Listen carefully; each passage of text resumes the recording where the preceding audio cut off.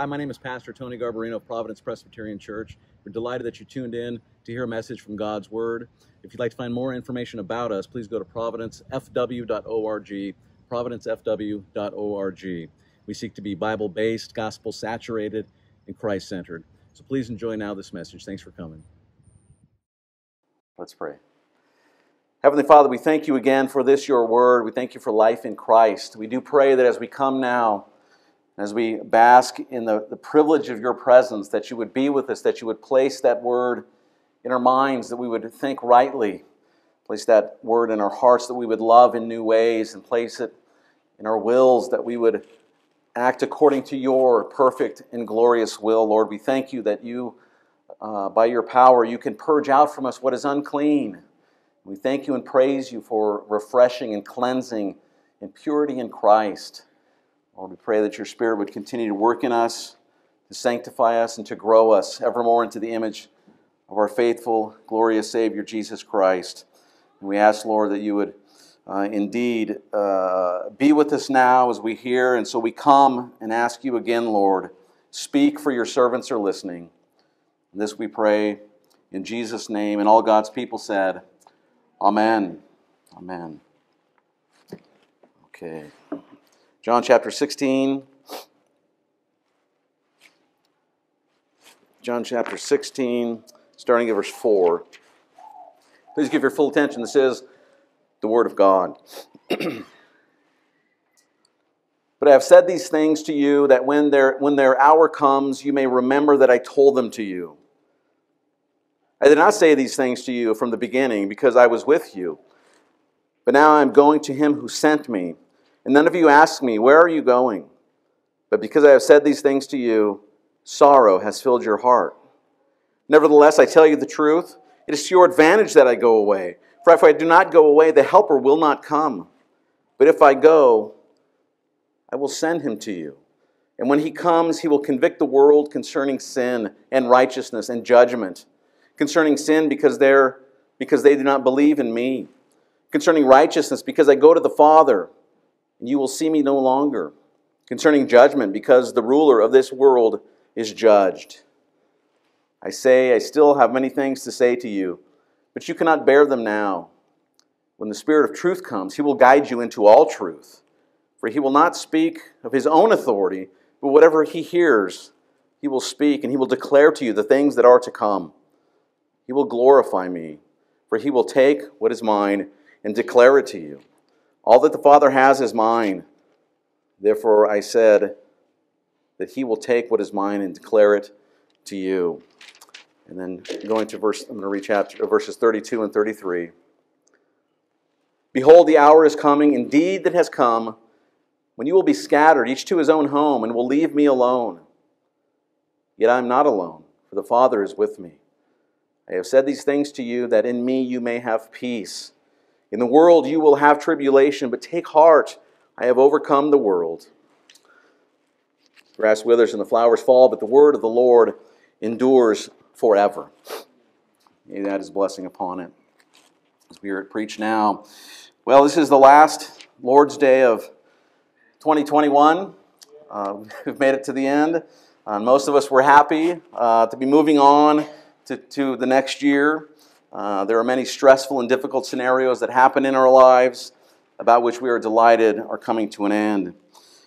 And on the other side of that, uh, we are sad. We are saddened when good things come to an end, right? When you've, I'm sure, experienced something great or enjoyable or good and then felt sad that it was coming to a close.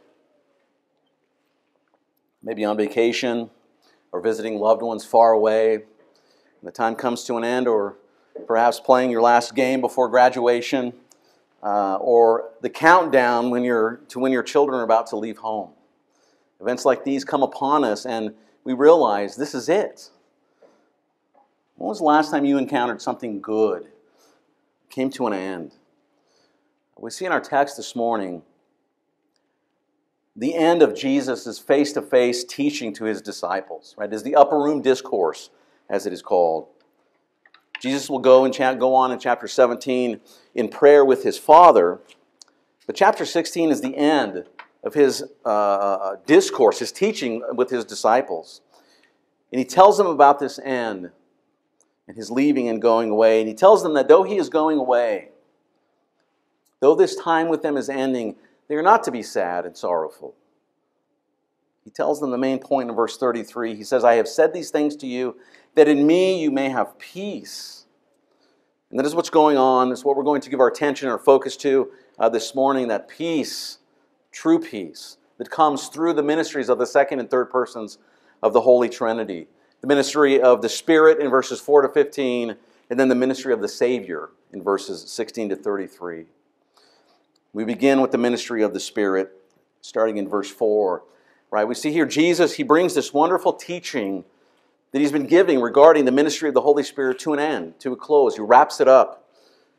And he says in verses 4 and 5, I do not say these things to you from the beginning. I did not say these things to you from the beginning because I was with you.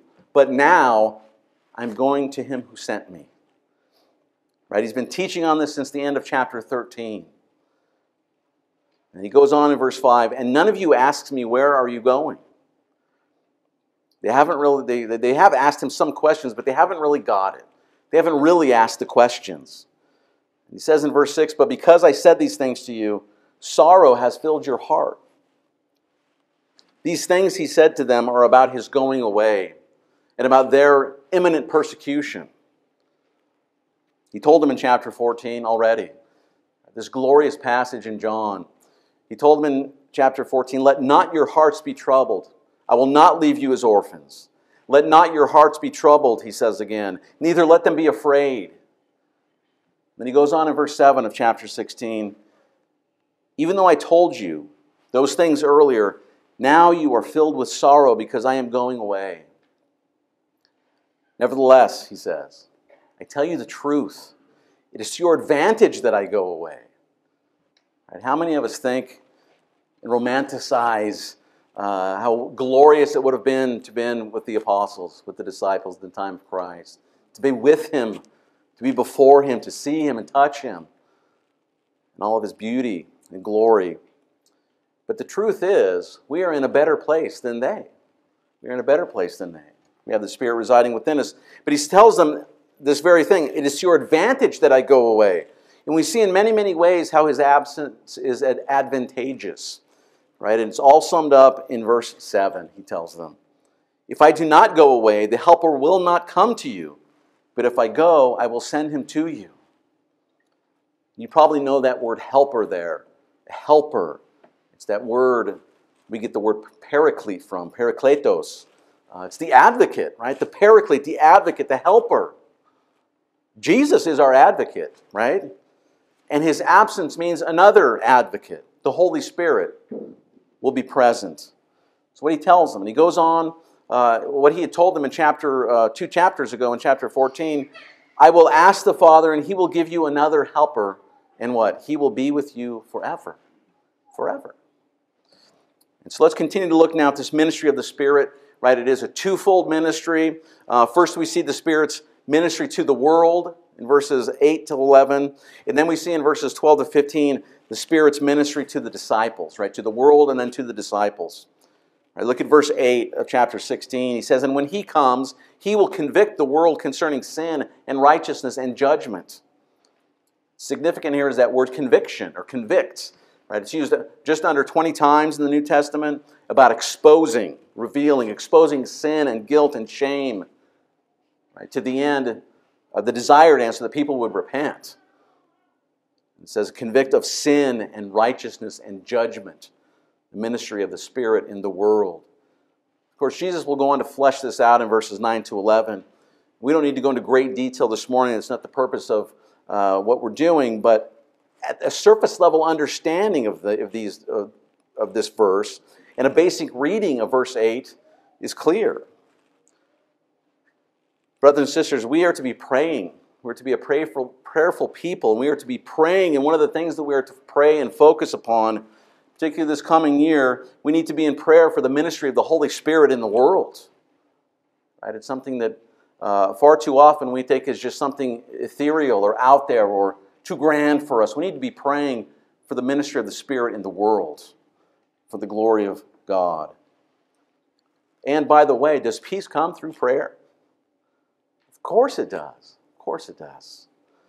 We can't know all the ways and workings of God, but we can and need to be in prayer, right? That, that communication, that intercourse between ourselves and the Lord through the Spirit, through Jesus. And then next we see in verses 12 to 15, we see the Spirit, uh, the Spirit's ministry to the disciples. Right? Jesus goes on to say that when the Spirit comes, he will also have a ministry to the disciples. Look at verse 12. I still have many things to say to you, but you cannot bear them now. These teachings would come, however, through the other advocate.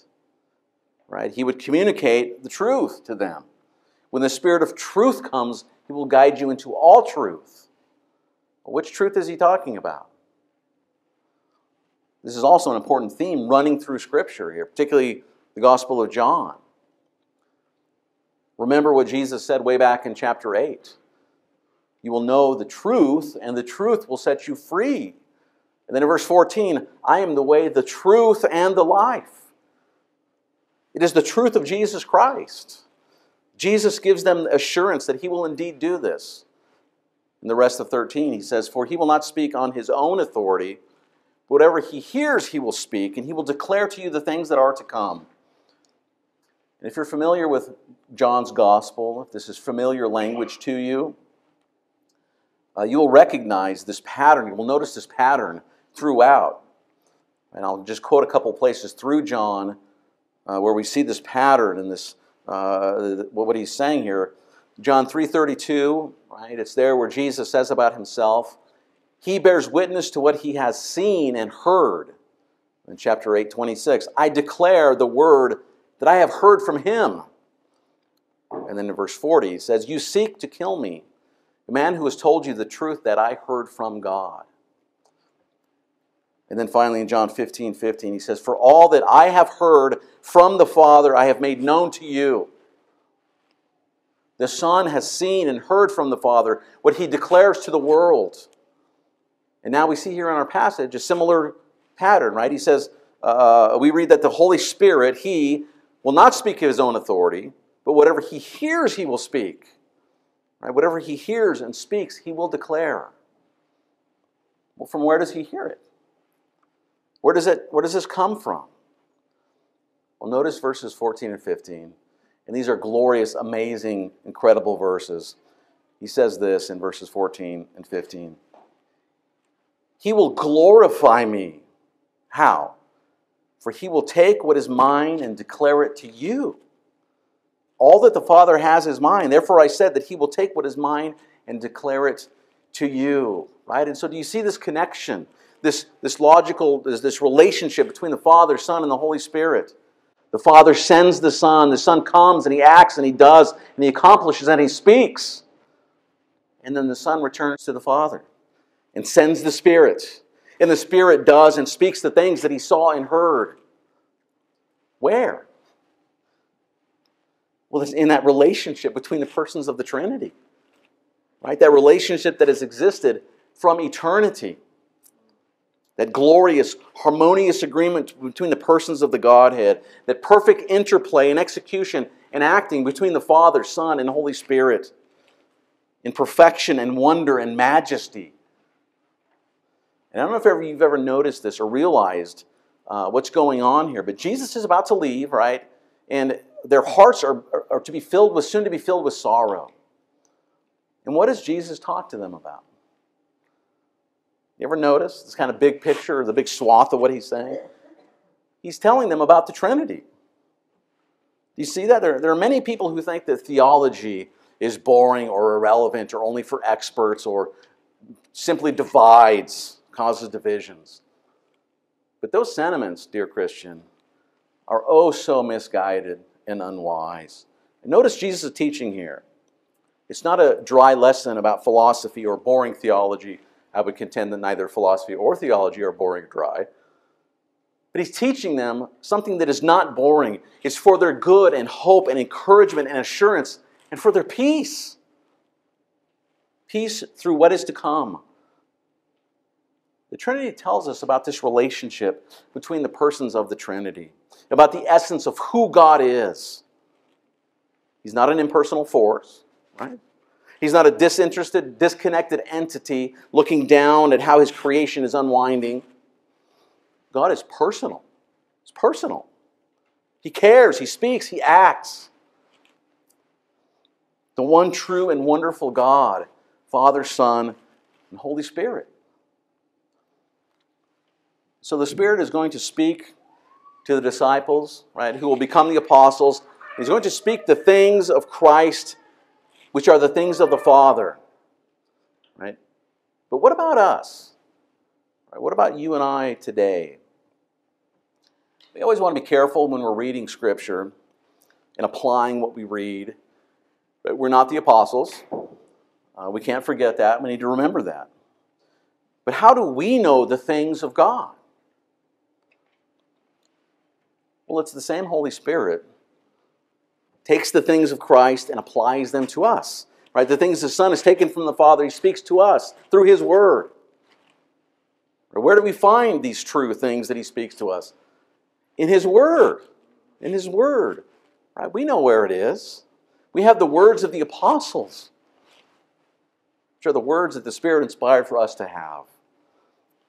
Literally, these things came to be, to pass in the lives of the apostles, in their understanding of scriptures, in their preaching, in their writings. But for us, what we need, we have, right? In our Bibles. The things that the Spirit of God wanted us to know are inscripturated. They were written down for us in this word. Right? Isn't that awesome? We reflect upon that. Isn't that glorious? The God so caring, so loving, so true condescends to speak to us and preserve it for us, for our good and for His glory, and our growth and our transformation and our uh, conformity to the image of His Son. It is awesome. And that's the idea behind that line in that hymn that says, What more can He say than to you He has said? What more? We have the same truth that He's speaking of here. The Spirit attends that word, Spirit and word, Spirit and word, word and Spirit. It, he attends the word in power whenever it is read and preached. We have that same Spirit as they did the Spirit of God, the Holy Spirit. Word and Spirit, they go together. Study it, read it, read it again, long for it, pray through it, and read it again for life, for all of your lives. Seek to live it out. Get it into you, get into it. It is God's means of grace to you, dear Christian. It is His way of challenging and exposing sin. It is a way of growing and conforming you and teaching you and equipping you and of killing your sin. And you know what else it will do? What else the Spirit will provide through His Word? It's peace, right? Peace. Blessed peace. Not as the world gives, he says, as he gives. Peace. Brothers and sisters, give praise to our Almighty God, Father, Son, and Holy Spirit for all that he's done, these glorious things. And then to our second half of our passage, where we see brought to an end here the good things about the ministry of the Savior, right? Verses 16 to 33. Like the ministry of the Spirit, we see that the ministry of the Savior is a twofold ministry is a ministry of joy and of peace. Ministry of joy, verses 16 to 24, and a ministry of peace in verses 25 to 33. Right? First, notice it is a ministry of joy. Right? He says, A little while, and you will see me no longer. And again, a little while, and you will see me. This is what is said uh, at the end of chapter 13 again about his death and resurrection. This made the disciples wonder what he meant, right? In verses 17 and 18, they say, What does this mean? What is he talking about? And it says in verse 19, knowing this, Jesus said, Truly, truly, I say to you, you will weep and lament, right, because of his death. But the world will, will rejoice. You will be sorrowful because of his death. But you will, your sorrow will turn into joy because of his resurrection. We'll see him again. Jesus explains this by way of an illustration an illustration that every mother knows full well, that many of our mothers know recently or will soon, uh, uh, again soon know again full well. Right in verse 21, it says, When a woman is giving birth, She has sorrow because her, her hour has come, right? That intense pain and suffering. He goes on, but when she has delivered the baby, she no longer remains in anguish, remembers the anguish, for joy that a human being has been born into the world. Right? It all goes away because the thing is there, the child. It's glorious. And you know, there's something about the suffering that all of creation and we have uh, in our longing and waiting for Christ to return, and the wrapping up of all things. Romans 8 talks about this. We suffer, creation longs for this. And then in verse 22, he gives the point of the parable. You have sorrow now, but I will see you again. And your hearts will rejoice, and no one will take your joy from you. What a promise! What joy! Never to be taken away. The joy of seeing Him and being with Him. And the joy and the reality, even now, of longing and the expectation of that. How remarkable! How wonderful is that?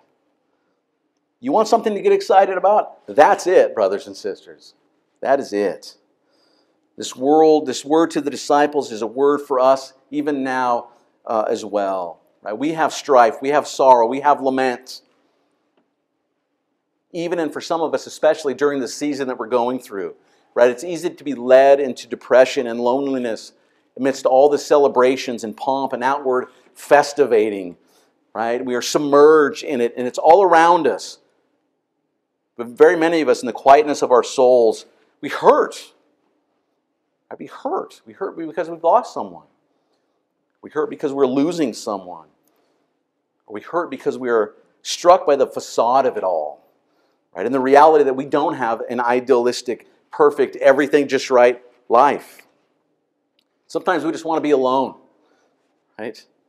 We get back to our normal routine where we've learned to bury it all out, just to bury it and drown it all out. You need, we need, all of us, to be reminded, brothers and sisters, to rejoice for the joy that we have in Jesus, right? We need to learn to rejoice for the joy that we have in Christ. What does it say? Verse 22 I will see you again and your hearts will rejoice, and no one will take your joy from you. What a glorious promise. How often do we forget that? How often do we give our joy away to this or that thing or this or that problem? Remember this, brothers and sisters.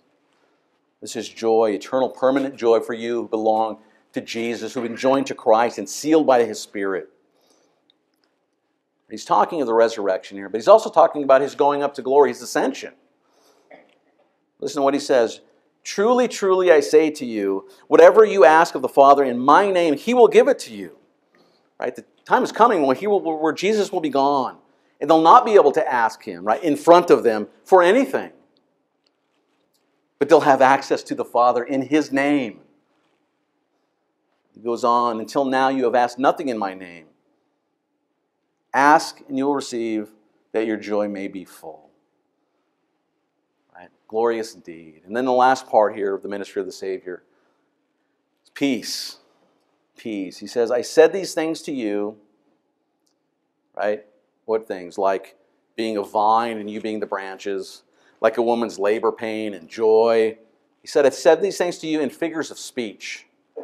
But the hour is coming when I will no longer speak to you in figures of speech, but I will tell you plainly about the Father.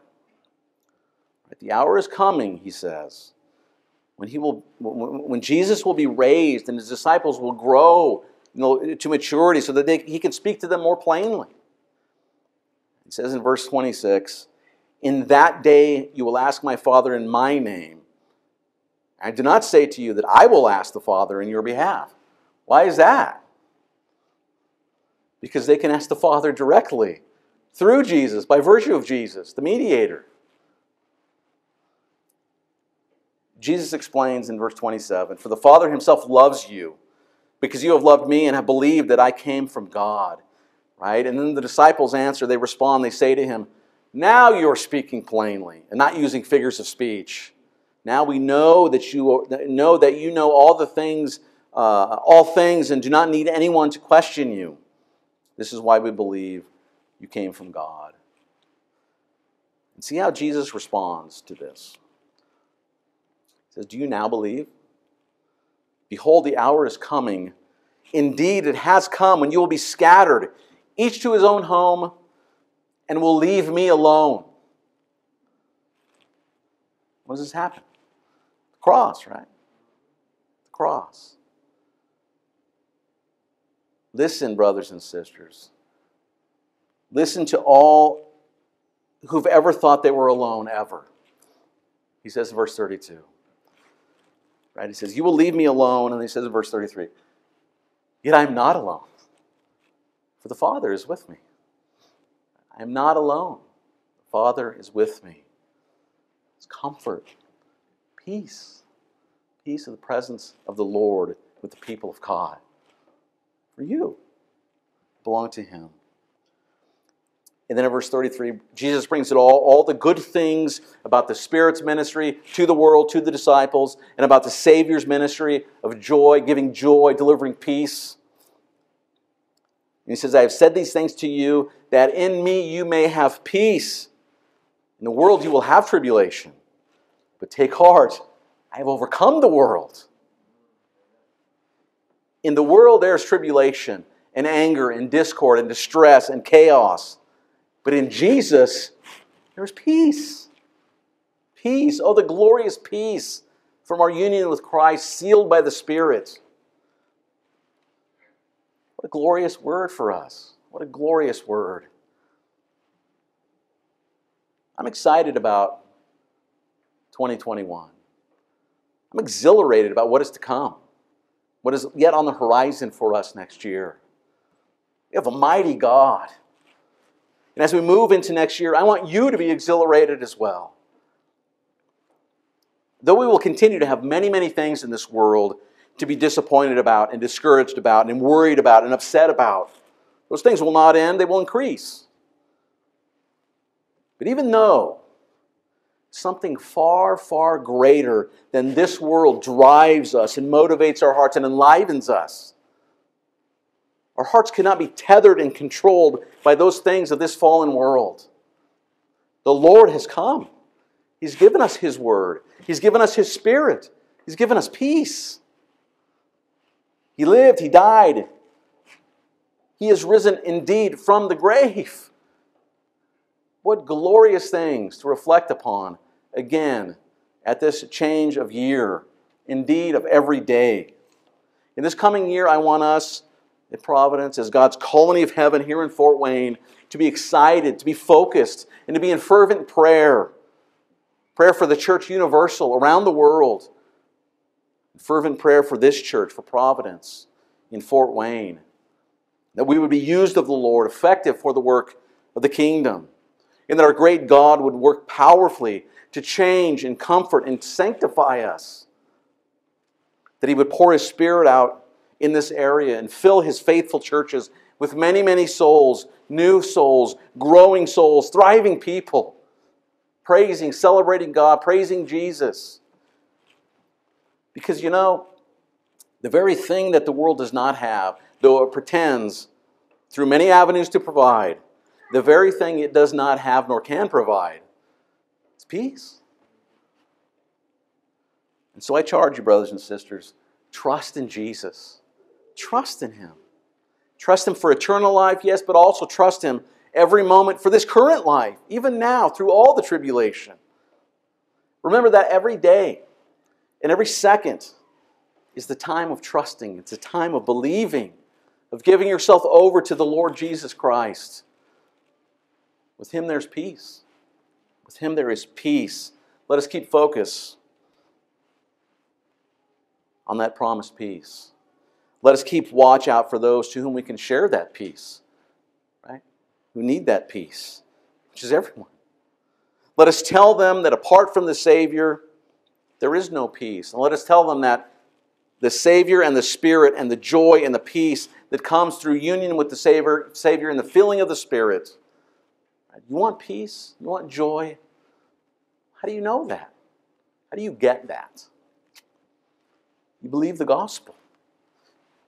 You believe that Jesus lived and died and rose again so that those who believe in him would live forever in glory with him before the face of the Father. You believe that this morning? You believe it. If you've not believed that, I pray that you will do so right now. Now is the day of salvation. And if you have believed it, if you have given your life over to Christ, oh, brothers and sisters, rejoice. Rejoice. Rejoice and have peace and praise Him. And may you ever look to Him for grace and freedom. And when you fall and when you fail, for He promises, continue to look to Him, because His promise is to cleanse you and to refresh that soul. May this glorious encouragement drive you to live for Him and to sharing the truth and peace of the gospel, bringing others to hear His word, to be amongst His people with Him. May He be glorified in all that we will do to the end of the expansion of that glory as He see fits to expand His church. Amen. Let's pray. Heavenly Father, we thank you for your word, your spirit. Lord, we praise you and thank you for all that you've done, that you've done everything that was needed to give us life. So, Lord, we pray that you would help us to continue to more and more believe the truth of what you've given us, the truth of what you've told us in your word. Lord, we thank you and we praise you again and again for Jesus Christ and new life. Seal these truths to our hearts, we pray, Lord. Help us into the, moving into the future to be a praying people, to be a people that are fervent in prayer, Lord, and then we would live our lives preeminently for your glory, the gospel, for your kingdom. We ask this all in Christ's name. Amen. Well, thank you for tuning in this morning. Uh, if you'd like more information, uh, about Providence. If you're in the greater Fort Wayne area and would like to visit us, please go to our website, providencefortwayne.org. If you'd like to give, if you were blessed by this message, if you'd like to have more information about the faith or about growing in your faith, uh, we'd love for you to get connected with us. Thank you. We've set up a simple way for you to give to our church online. If you want to give a quick gift, enter an amount, select a fund, then enter your email address and your first and last name. Then enter your payment details and click Give. And that's it. We'll send a receipt to your email address. To use a saved payment method or manage a recurring donation, you'll want to log in. Click the Login button and we'll send a code to your phone or email account. Verify the code and you're in. Now your payment info is ready to go when you want to make a donation. To manage your giving details, switch over to the My Giving page. Here you'll see more ways you can give. You can also add a payment method, a bank account or a debit card, set up a recurring donation, and view your giving history. To get started, visit our website or download the Church Center app in your Android or Apple App Store.